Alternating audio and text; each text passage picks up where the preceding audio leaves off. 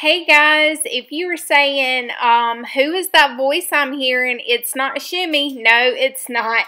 My name is Tiffany Goff Smith, and I'm the creator and designer at Southern Gals Designs here on YouTube. And I am part of the Pass the Brush movement. So, what is Pass the Brush? So, I was partnered with Shemi, and the purpose of Pass the Brush is to amplify and really lift up and make women of color artists more visible to the community.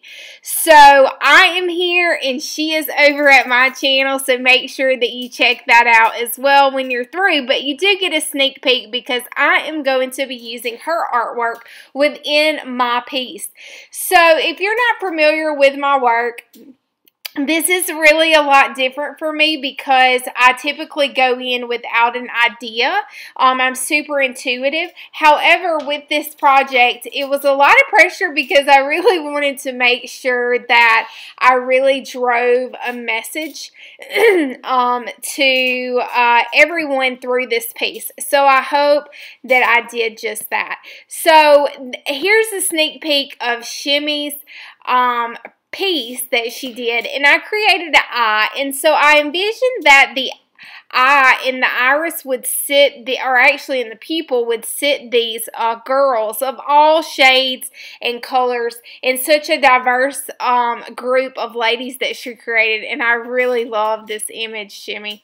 So um, I realized that the eyeball was too small, so I'm going to go really big and create um, an eye that that image will fit into. So I'm using an ink pen here, and I'm actually using the food ball um, because I could not find my tried and true, which is the micro uniball.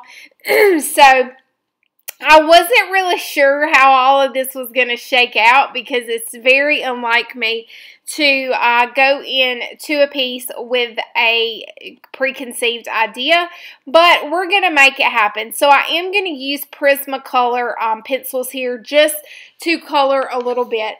and one of the quotes that I wanted to read to you guys is we all should know that diversity makes for a rich tapestry, and we must understand that all the threads of the tapestry are equal in value no matter what their color. And that is by uh, Maya Angelou.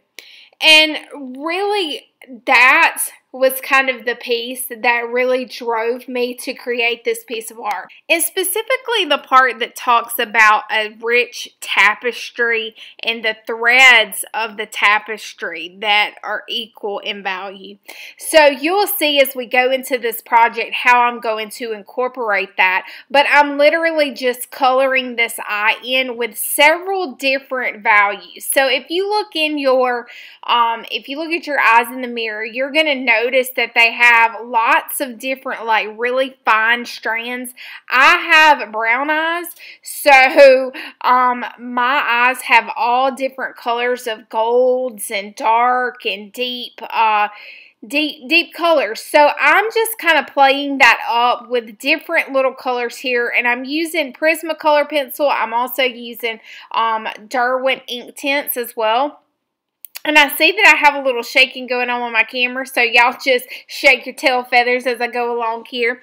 And one of the things that really uh, struck a chord with me is when you look and you um, view other people's cultures and histories and um, all of their life experiences that they bring to the table is different than your own.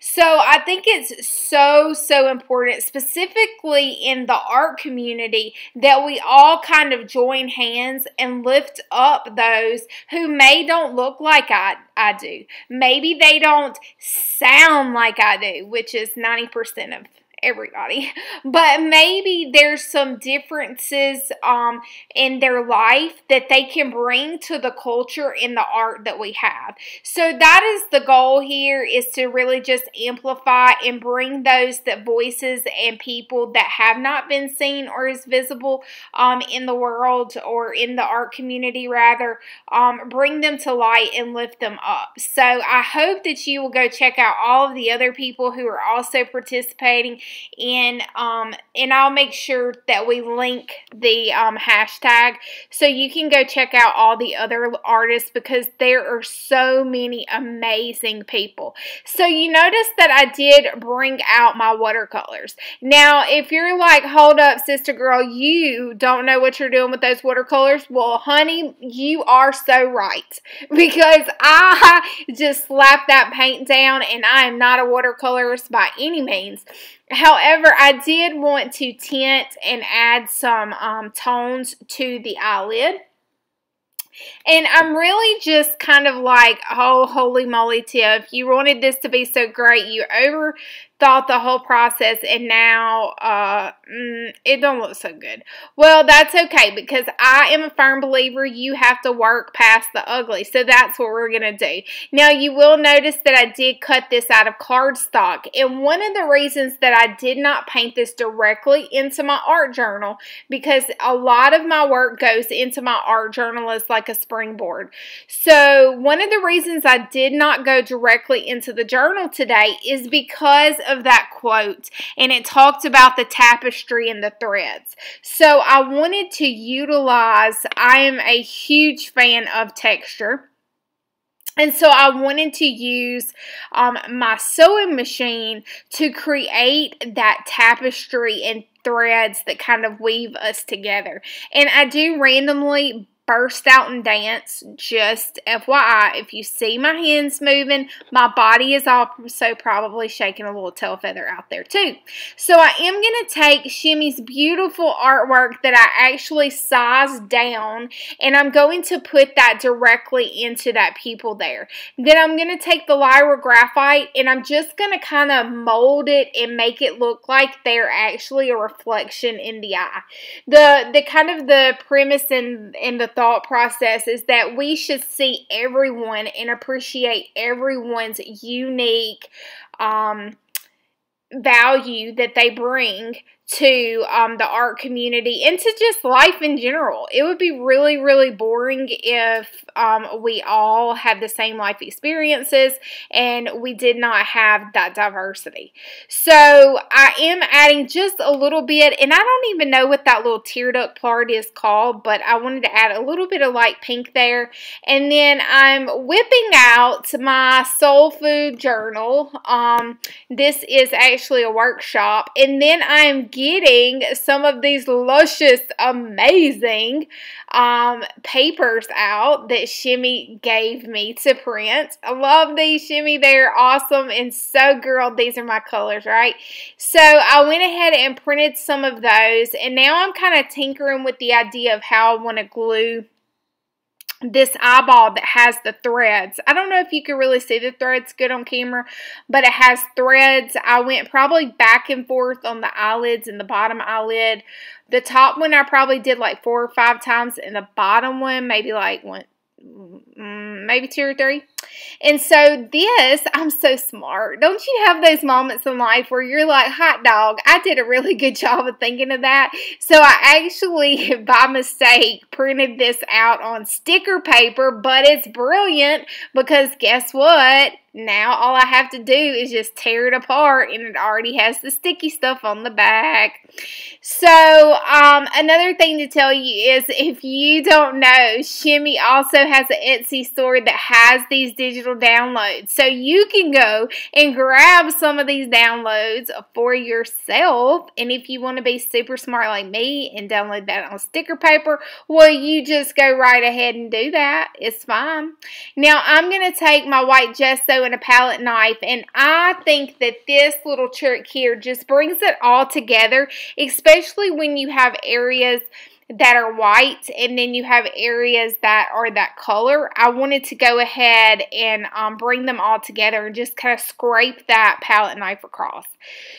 So, take a deep breath, Tiffany. I get on a rampage, guys, and I just get so excited about projects like this. I just get talking, talking, talking, talking, talking.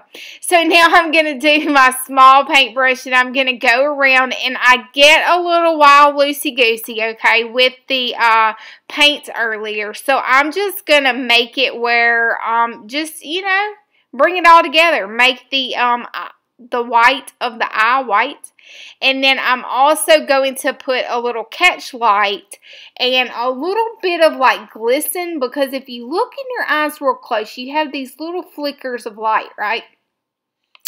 So, excuse me, I'm going to take and um, that little bitty paintbrush, I'm going to just dab and dip and kind of swirl and put some line work all around it and hopefully bring out those beautiful eyes that I worked on earlier. And there you can see the threads.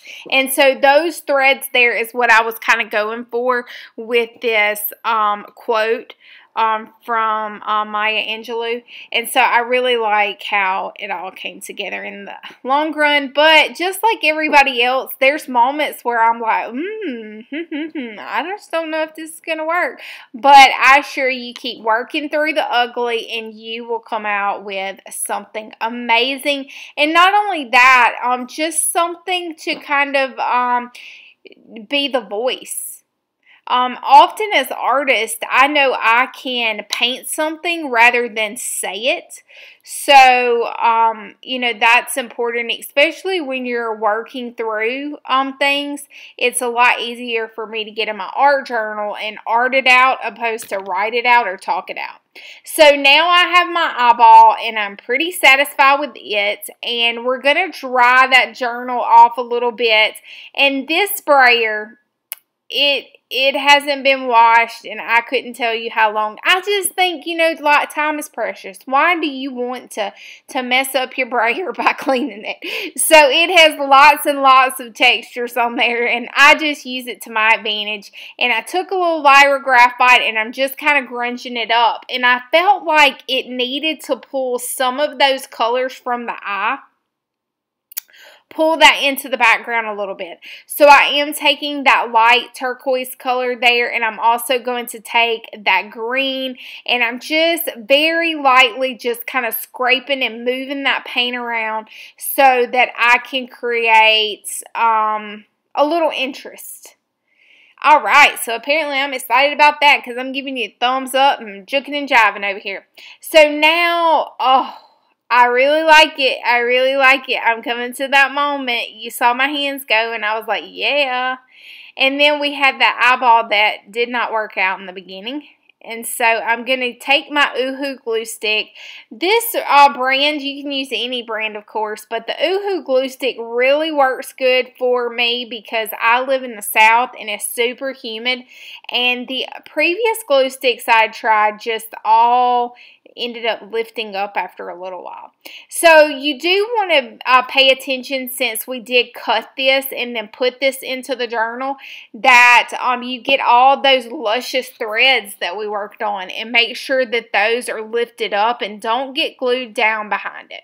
So I'm taking my Stabilo Marks All pencil and going all around the eye so that I can actually create a little bit of a shadow.